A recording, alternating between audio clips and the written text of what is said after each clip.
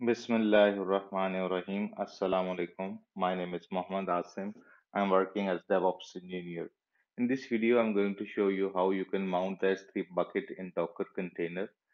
Uh, one thing I need to tell you, or the prerequisite uh, of this video, is um, very much uh, important for you guys to know that uh, Docker storage or Docker container is not persistent. So, which uh, means that uh, there is no etc fstab. If your container reboots, that mount is going to be gone.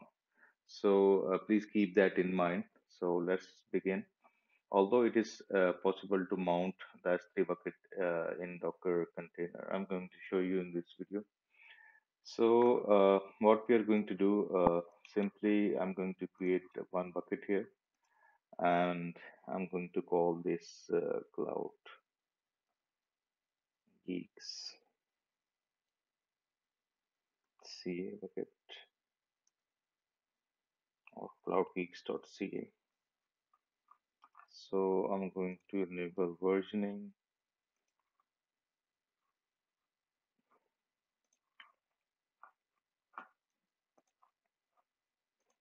Okay, cloudgeeks.ca. I'm going to enable the versioning and going to click create. So uh, this is going to create uh, CloudGeeks uh, bucket in my US East one region. So what I'm going to do, uh, first of all, I need to tell you that uh, these uh, are the two repositories where I put the code. I will provide you the link. Uh, you have to simply uh, click one of the link and you will get it. So if you click on AWS, if you navigate to AWS, uh, this is the directory where I've uh, put the code S3 Docker mount. So uh, what I'm going to do simply, uh, I'm going to open private uh, Docker and I'm going to pull this uh, public repository there. So why I'm using that, uh, I can use the EC2 instance and all of the stuff. So uh, this is the demo and I'm going to simply destroy the lab as well. So I'm going to simply uh, take a shell in that particular lab and I will show you what you have to do.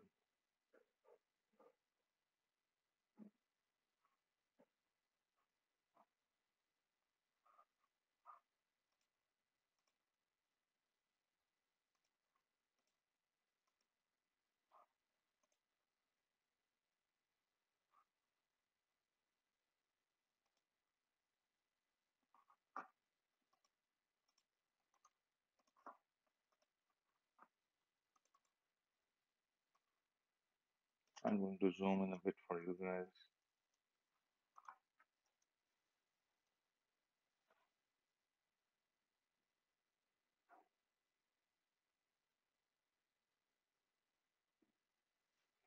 Okay, Git is already installed here. I'm going to simply git clone and I'm going to uh, simply clone this repository.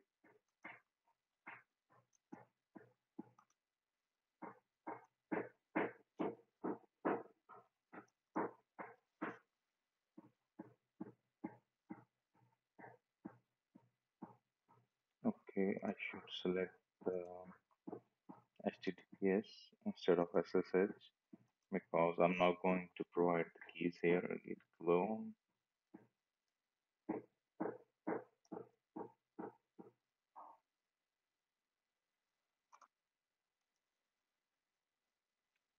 So it is going to pull that particular repository quickly because uh, of the very high throughput there.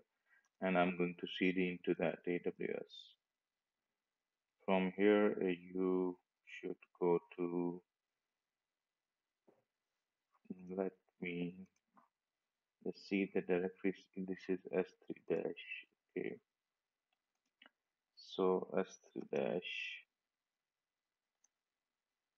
So simply I'm going to update my mount shell and uh, show you what you have to do. So I'm going to update uh, mount shell script and I'm going to update my bucket name. So this is the Cloud Geeks cloudgeeks.ca and update your access keys and secret access keys here.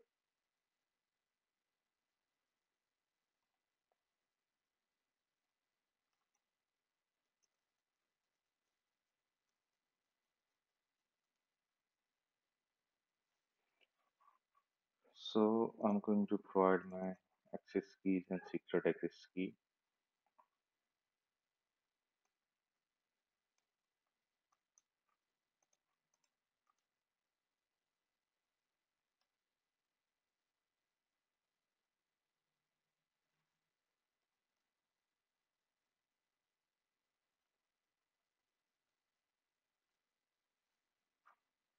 Okay, I'm going to put my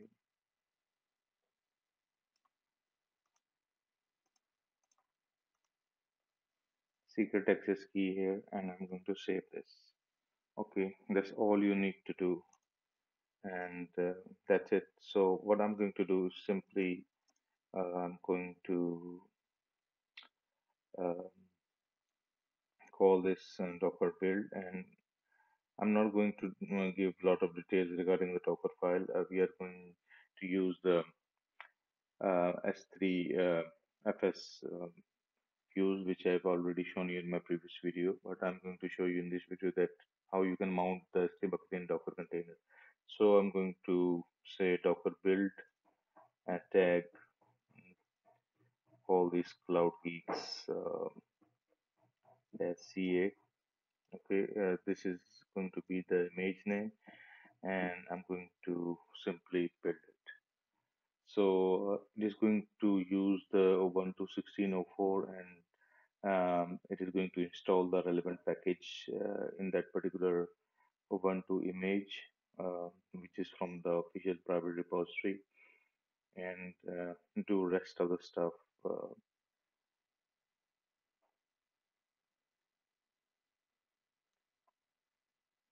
So as far the other files are concerned, you don't uh, need to simply, I mean, you don't need to update those. Let me show you that. Uh, those are the password files. So leave as it is, uh, no issue with that. So that's fine. Simply update your access keys and secret access key, provide the bucket name, build it, and um, then I'm going to show you the Docker Compose YAML.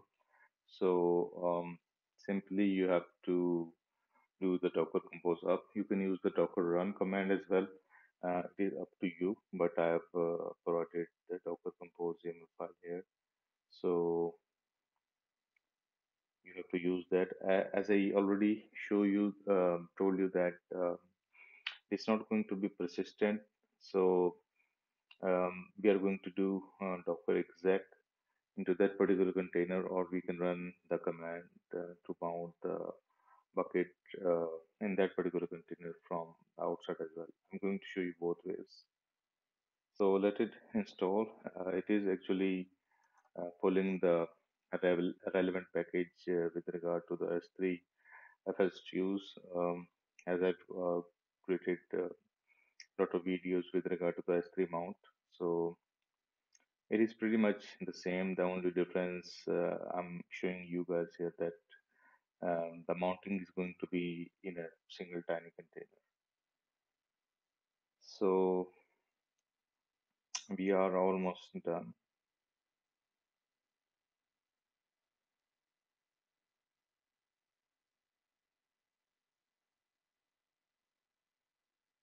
Okay, if I do Docker images, you will see that uh, this particular image is set up. I'm going to simply copy this. Okay, if I do ls here, and I'm going to update my Docker Compose YAML file, and I'm going to simply um, provide this name. So I'm going to update this.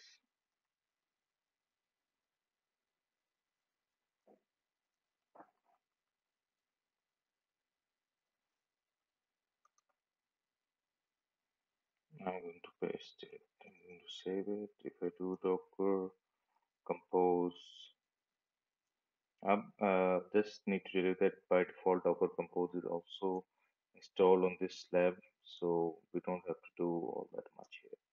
So Docker Compose up hyphen D, and that is it. If I do Docker PS hyphen A, so you see our um, container is running. So if I do Docker exec interactive shell into into this um,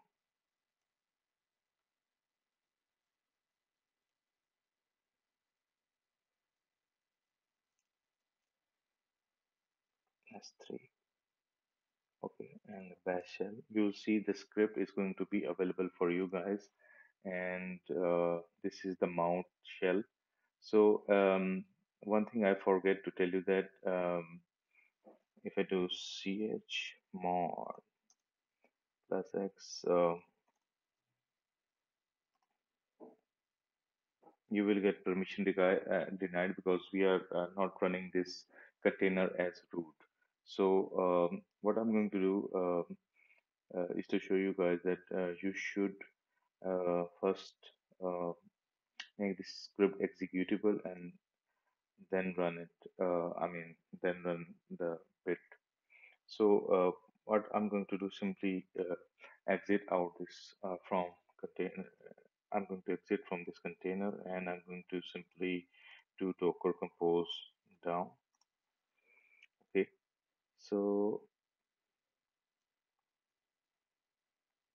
it is going to be down in a few seconds.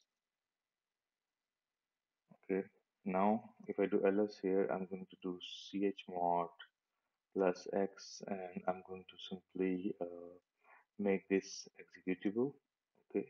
So uh, we have just built it and what we are going to do uh, simply run that particular command again. So it is not going to be uh, take too much long because it is going to fetch all the uh, detail from the cache and I'm going to simply uh, run this build again so you see uh, it has done.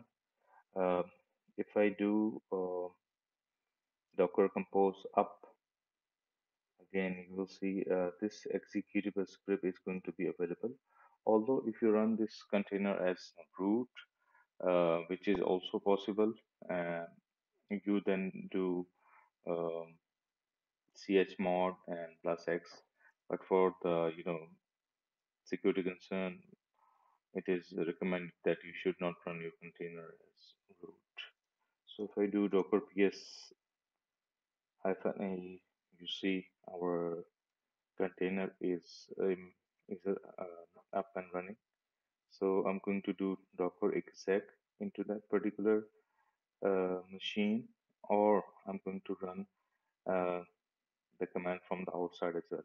So this is the container. So I know um, at home um, s3 uh, mount dot sh is now available. I'm going to run this. So okay, so if I do docker exec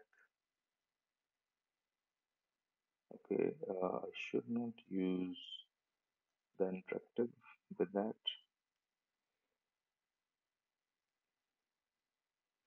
With the previous command, okay, let me show you that as well.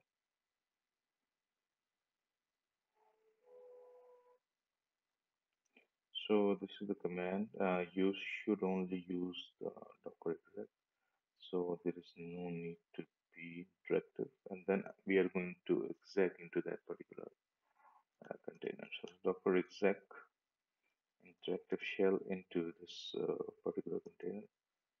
Okay, and I'm going to say bash So if I do ls here, you see uh, mount sh is there, and if I do disk free for HD you see uh, 256 TB is available in our S3 um, in our Docker container, which means that S3 is mounted.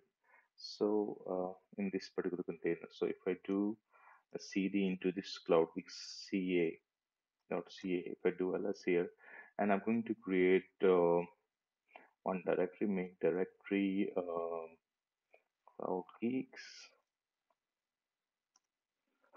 Okay, so you see uh, this directory I've just created, and if I navigate to my S3 bucket, um, see uh, this is the bucket. In fact, I'm going to simply um, navigate to this bucket, and you see this directory is available, and I'm going to create, um, let's say, one directory here as well. Uh, awesome. Okay, if I do I do ls here, you will see that uh, awesome going to be available, and if I make dir Qasim Hadi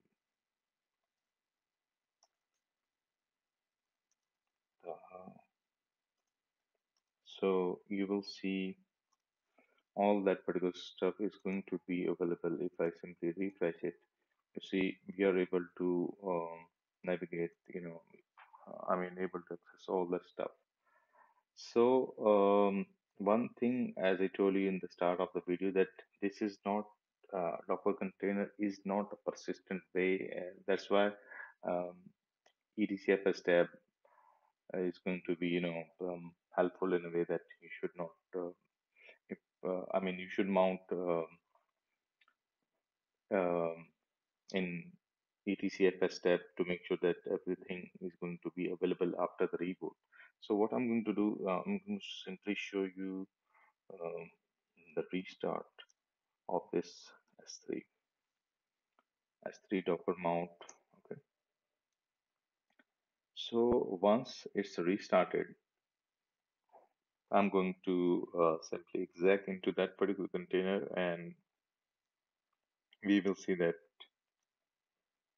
um, there is uh, unmounting of directory. If I do um, this create an ht, although you see the directory it is created by the script, but you do um, uh, I mean do this create an ht command, you see this is unmounted.